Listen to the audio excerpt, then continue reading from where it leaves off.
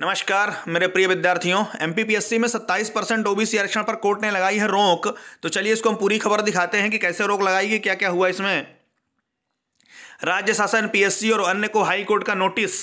Supreme court के अनुसार 50 percent से ज़्यादा आरक्षण ना हो, मध्य प्रदेश में तिहत्तर फ़ीसदी पहुँच गया था। मध्य प्रदेश हाई कोर्ट ने एमपीपीएससी परीक्षा में सत्ताईस प्रतिशत ओबीसी आरक्षण पर अंतरिम रोक लगा दी है।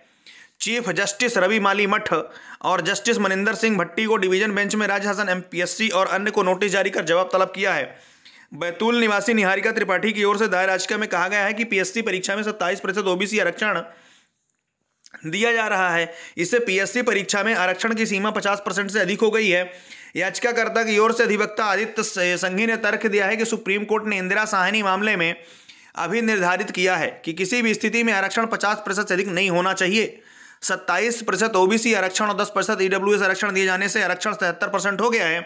इकतीस दिसंबर 2021 को घोषित हुए पीएससी मुख्य परीक्षा के रिज़ल्ट में ओबीसी को 27 परसेंट आरक्षण लाभ दे दिया गया था। यानी जो 27 परसेंट में ओबीसी ओबीसी में आरक्षण में 27 परसेंट दिया जा रहा है, उस पर रोक लगा दिया है हाई कोर्ट ने कि 14 परसेंट दें उसमें।